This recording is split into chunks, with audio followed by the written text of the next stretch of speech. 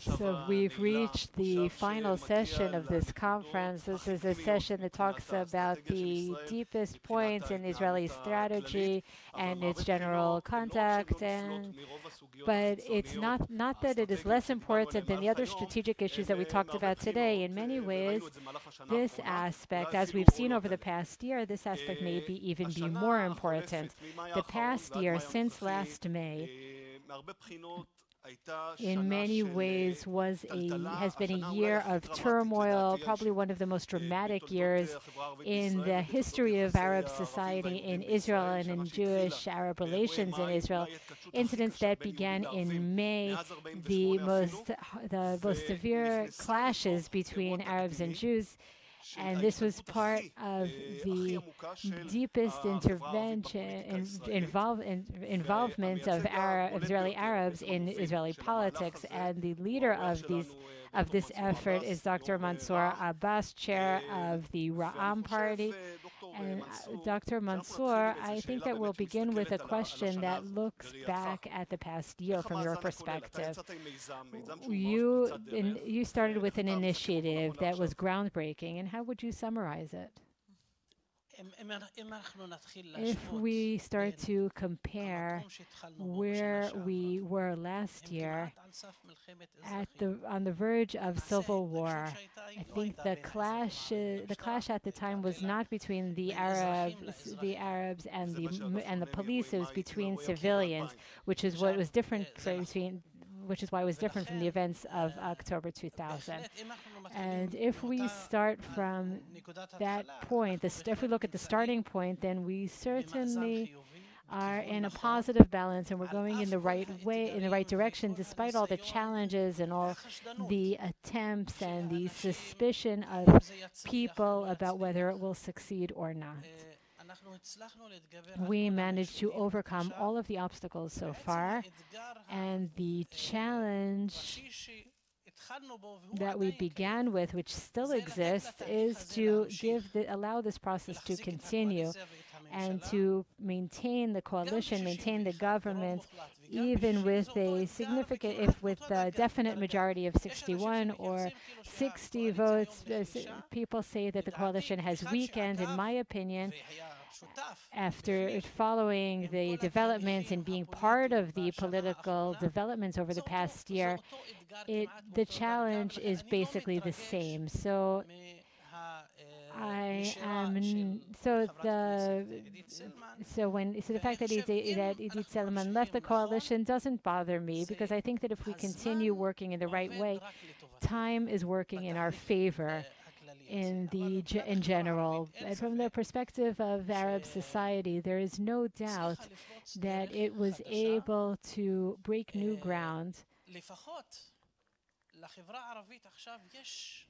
at least the Jewish population, the Arab population now has several options. It's generally dogmatic. What was is what will be. And despite the fact that there are parties from different ends of the, the spectrum, there's a party with a more Islamic tendencies and more communist tendencies, but overall, the goals are are shared. The goals were always shared, but now at least you the goals were always the same. But now you have another alternative. If you also want to say that there there are others, there are those that don't even participate in the elections. They're not part of the political game, or they are involved in a negative way. And then there are those who are involved. They participate, but to only to a certain extent. They want change, but they don't want to understand that this change is the result of a process of partnership our party came, the United Arab Party said that it would work with cooperation as part of, as a partnership, not a partnership as a result of the change. How will the change be made without a partnership? So, on the political level and from the perspective of the status of Arab society, we're going in the right direction. And also, if we want to talk about economic and social issues, education and arrangements in the Negev, etc., what we say is that the five, we're talking about a five, about 27 five-year plan that include agriculture and even sports. If we want to talk, then it's very important to emphasize these issues. And even though we're still talking about reducing gaps, if we manage to implement these plans and move forward, then we will be able to start talking about closing gaps. It's also very important not to forget the very painful issue of violence and crime within Arab society that is being projected into all of Israeli society. This has been the first year, 2022. This is the first year in which the curve that was always rising, the graph of violence and crime was always ri- has always been rising, and now we see we start, we're suddenly seeing a decrease. 30% decrease in murder cases and shootings, and another aspect is that in Arab society, the, the discourse is about taking responsibility for ourselves. The police will do its job, and the government plays an important role as well. But the other side that talks about taking responsibility for ourselves and doing what has to be done, if there's violence and crime in Arab society, it is, is often culture based. Based, we object to the to the argument that is part of our that this is part of our culture, but some people consider family honor a part of the um, killings as part of our culture. But a society has to the society has developed a new set of values that will address these issues. But this and this summary reflects the fact that we're going in the right direction. So despite the difficulties and the challenges and everything else that is happening, that have influenced us, especially things that have happened in the last month. We managed to overcome these difficulties because we see the process going in the right direction. And Dr. Mansour, do you think that Arab society as a whole sees things in this way as well? Do you all, do you think that they're also seeing the achievements? Because we have heard criticism saying that this attempt isn't really working, and we don't really see the fruit of these efforts. That the Arab society is like Jewish society and Israeli society in general. There are disagreements. There are different factions, different different sectors. Each ideological uh, denomination has different ideology. There's the northern Islam, there's the southern Islam, the there's the nationalists and the communists, etc. So there certainly are disagreements within Arab population, and there are political parties that that pursue the cooperation between, between they always explained that the goals would be obtained through Jewish Arab partnership. And how is that actually, how do they describe, how do they perceive that as being carried out? It is stopped at a, it reaches a very, very limited type of cooperation with is within Israeli society. And our party talks about all of the Israeli Jewish population from end to end as a single unit. I accept that. And I I'm not trying to change anyone. I am changing myself. I'm making changes within myself, within my own sector. There, we have support within Arab within the Arab sector. You know that all of the polls show about 60, 65 percent support for the process itself. And of course, we won't compare the power of the United Arab Party as a party that still comes from a very specific sector within the Arab sector the Islamic movement, and you still have a hard time reaching the other ethnic groups like the Druze. And then there's the the this is the Islamic group that don't always agree with everything that we say. So our role is also to, in order to close the gap between support for our party as a group, as a party that is leading a process, and the support that we receive in general from Arab society, we have to adopt ourselves as a party to become more open and more containing of other ability with greater ability to contain other groups, but still linked to the Islamic movement. That's our home. That's where we come from. There were a few, uh, we discussed this several times, and people have said to me that it would have been wonderful if the United Arab Party wasn't affiliated with the Islamic movement.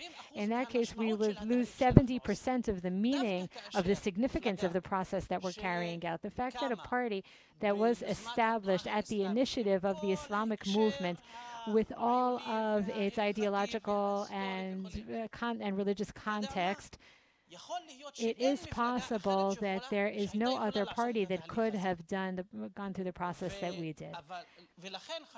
And therefore, it's very important for the United Arab Party to remain affiliated with the Islamic movement. I'm one of the leaders of the of the of the mo- movement, and I know that the religious aspect, the religious perspective, is containing. It's tolerant and it's dyna- dynamic. It can change and it can contain new ideas, and we've already proven that. You had an interview on the Saudi Elaph website, and it said, We're not the Muslim Brotherhood. What does that mean? They also published two days ago. These days, we are also marking five years to the passing of Sheikh Abdullah Nimr Darwish, who is the founder of the Islamic movement and I did not know this interview. And then he was also asked the same question maybe 20 odd years ago, and he gave the same answer We're not the Muslim Brotherhood. Because if you take any ideological faction, Islamic, liberal, communist, any party that is associated with this faction will, or this denomination will have similar um, aspects with other countries around the world. However, it doesn't mean that you're the same. If you have this title of an Islamic movement, a party, then of course Islam dictates many aspects, but uh, Nimr Darwish had said that it was going to be a local movement, defined it as a movement that not only tries to, but actually balances between the various identities, and not only the civil identity as citizens of the State of Israel with the national identity, but within Within Arab society, we also have another identity, whether you're religious, national, local, Bedouin, Falahs, northern, southern, etc. Sheikh Abdullah Nimr Darwish had the ability to understand that he must pave a way where various identities can live together, can coexist. And I am uh, and I am continuing with this approach because I come from a place where you can see all the colors. My village is a Druze one. I am a Muslim minority in a Druze village, which is a minority in Arab society, which is a minority in Israeli society, which is a minority in the Middle East, and I am member of a family that is quite small, and there are larger tribes, larger uh, families, and that means that allocation of resources is, is impacted from where you live, with the region you live in, and the state of Israel, and that means that many problems that you sometimes describe in the Israeli Jewish context or Arab Jewish context, I see in a completely different way. I see it more from a value perspective. If there is a crisis, if there is racism, then the color of it is not Jewish or Arab. Its color can change based on this mosaic.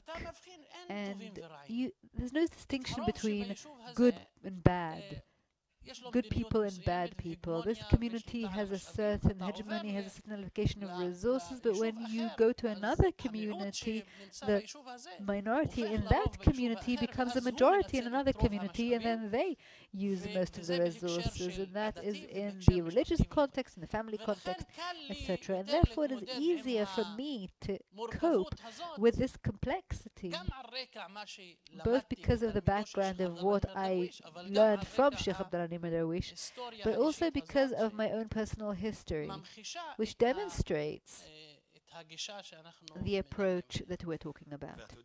And you know, Dr. Mansour, we talked until now about both the breakthroughs and the achievements, but in order to really be sincere and honest, it's important to also talk about baggage, let's say, between Jewish and Arab society. And the May events is kind of an open story. It's an event that not only uh, has not healed, it's still a wound very much. And I'm interested in knowing two things. First of all, there's a whole world of interpretation, very diverse, especially in the Israeli media, as to what led to the, the May events. Is it um, um, anti-Semitism and racism, or is it a matter of uh, feeling um, um, discriminated against. Um, so is it incitement or is it discrimination? Well, it's more complex than that. And that's why comparisons help us. Why did these events only take place in one city, in one town, and not in another? Or less so elsewhere. But without a doubt, the main characteristic of these very bad, very uh, uh difficult events is the involvement of the mixed cities. And therefore, we need to see all the different factors. And if I want to go into it, and before I move on to answering the second question, the same situation I was in when we started talking about crime and violence. Two theories were dominant until recently when it came to this um, area. The first is the conspiracy theory in among Arab public that it is Israel that wants to crush Arab society. Had they wanted to, they would have ended with this phenomenon within 24 hours. That's what people think and important leaders in Arab society would talk about that, that it is a Zionist conspiracy. The state of Israel wants not, uh, not only neglects Arab society, but it's a conspiracy, it's a plot against us. That's the one theory. The second theory was it's, it's, it's Arab culture. And once we started to investigate it, to study it, and, and research it, in the last, and the previous uh, government has set up a committee and suddenly the findings and the data emerge. And of course, it's a complex image, and it's not just two reasons, it's maybe eight or nine reasons. And instead of each holding the other accountable, the Director General of Netanyahu's Prime Minister's office, we said, they said the Israeli government has failed. It's our responsibility. And then suddenly I felt more accountable to come and say we also failed. And it's true, it was a mutual failure. So this image of one phenomenon, crime and violence, reflects other things. If we start to analyze it, we'll be surprised to discover that there are other issues and other factors that have also led to this escalation, and therefore we don't only want to remain in this um, kind of um, um, this kind of examination stage, and now we have, for the first time, promoted programs specifically for mixed cities. Arab populations in the mixed cities were not part of the government, were not part of Arab society, were not part of the local leadership. We all know about 922, the economic uh, plan uh, proposed by Netanyahu five or six years ago. The heads of the local Arab authorities refused to take part uh, and to have their public in mixed cities participate in these programs and get the resources. Why? For what reasons? For practical reasons? No. For their interest. It was their interest. It's our money and they'll go it will go to our local authorities. And not only that, there are 33 Arab communities that are within the local authorities that are mixed with Jews, mixed, Jew, mixed local authorities, 33 communities, and they too were not um, part in, uh, in, the allocation of resources of, of, of uh, Plan 922. And when we did Plan 5050, we are a party and we are called the United Arab List. So we are supposed to represent everyone, not only We now, of course, are happy with the use of the term Arab society, which has different sectors, but it's also in the government's official papers. So we said, first and foremost, we need to take care of the Druze as well, and the, the uh, Circassian and they got 40% of the allocated resources. And also mixed cities in the program will be approved in a couple of weeks time. And also the communities that are in the local authorities that are regional and so on. and so each of them has a part in this program. and that's the direction in which we're headed. However it's not enough to just have a comprehensive government plan. Now we are also going to put into practice the civil initiatives and to also support local initiatives that emphasize. I mean, the first call for proposals that came out from the Ministry of the Galilee and Negev is one that focuses on plans and programs for improving the fabric of Israeli society, Jewish and Arab. There's a lot to be done on various levels. On the religious level, of course, there's another initiative that is being developed there. And so if we say that there are many factors and many reasons, then we also need to align programs accordingly, because that's your question. Can it come back? And perhaps even more.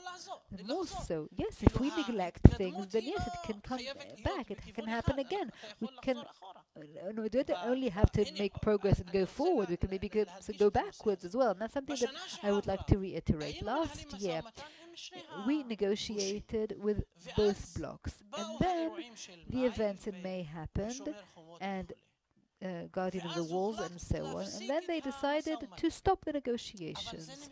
But it continued. It continued because everyone understood that there's no other option. We have to move forward.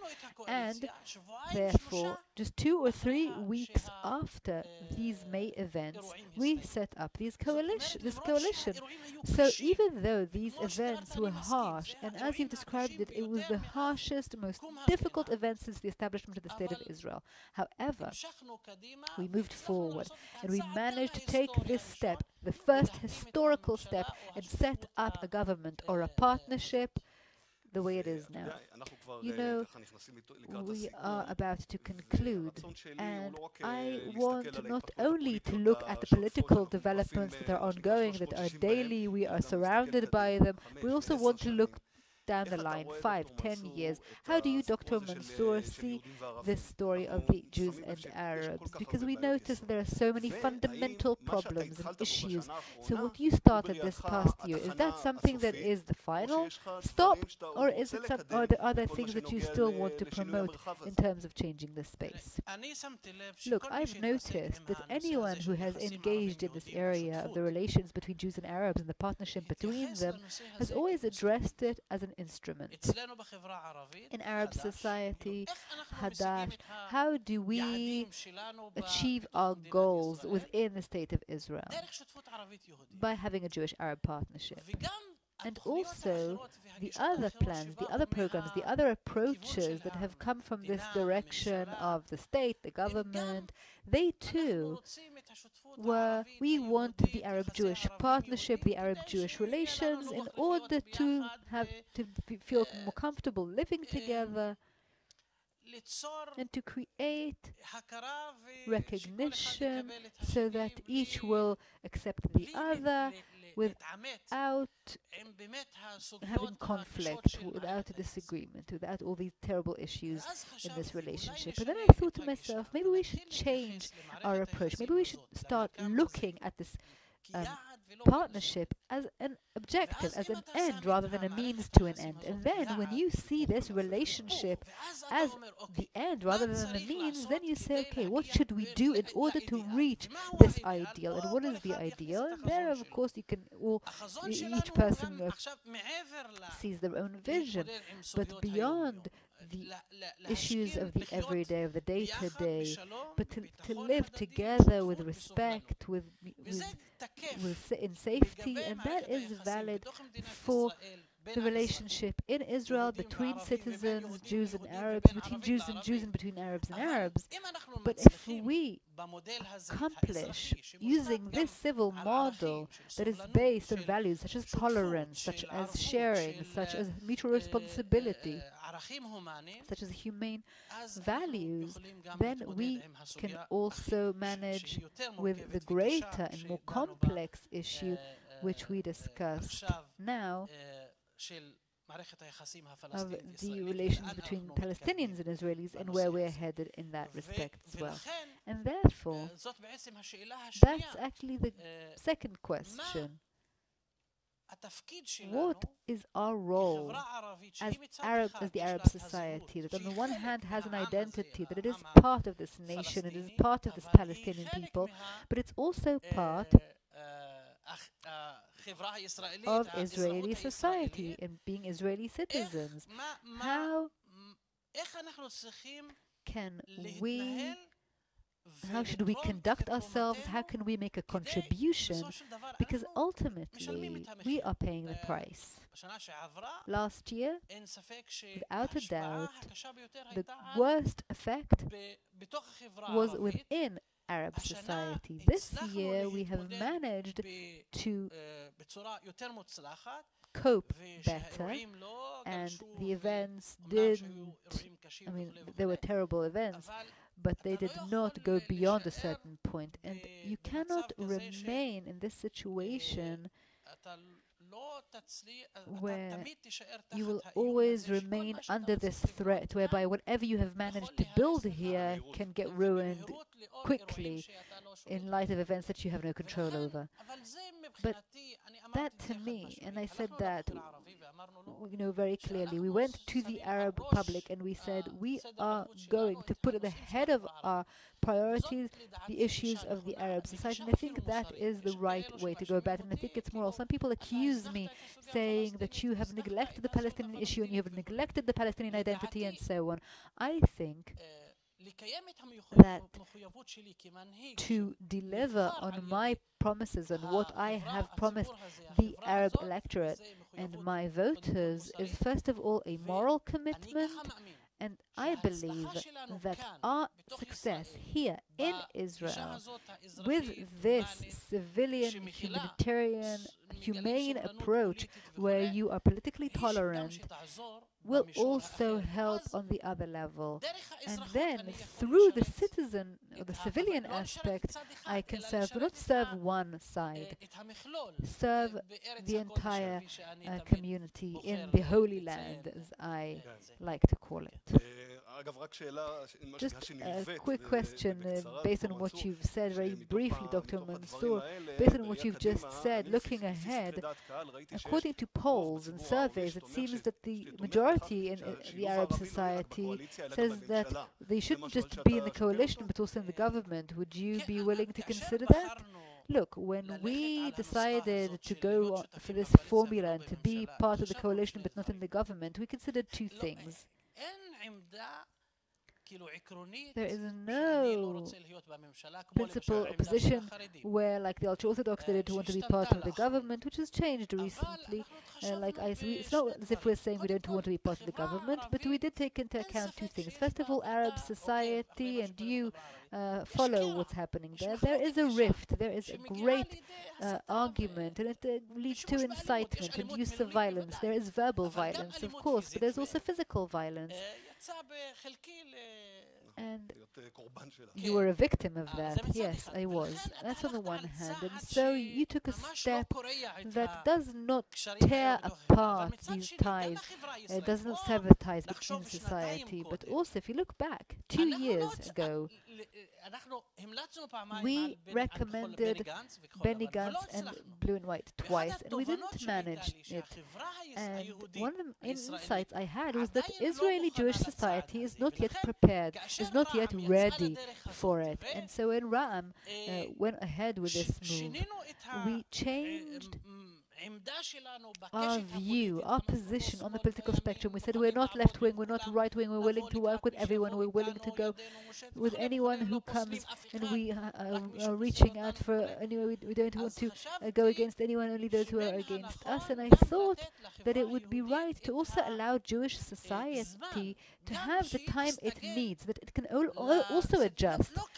It's not easy to finish with the May riots and then sit together uh, around the government table and just listen to the discourse that Netanyahu is and the Likud are back with, that we are compromising Israel's security and the government cannot function because Ra'am is there and they cannot decide on security issues. That's why we thought this was the right thing to do. But in the future, perhaps we will decide that we will say, okay, we do want to move on and take this step.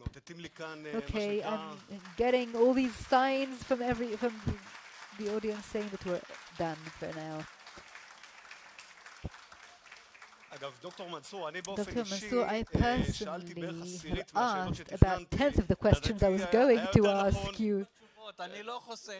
I'm giving long answers. Sometimes I make uh, answers that then get me into trouble, but I never give brief answers. Okay, I certainly hope that just as with the Palestinian issue that was discussed before, we're not going to leave it up in the air. So with the relations between Jews and Arabs, we'll delve deep, we'll get to know each other, we'll make decisions together, and I just want to thank you so much for this wonderful conversation. Thank you, thank you all very much. Thank you, Mansour.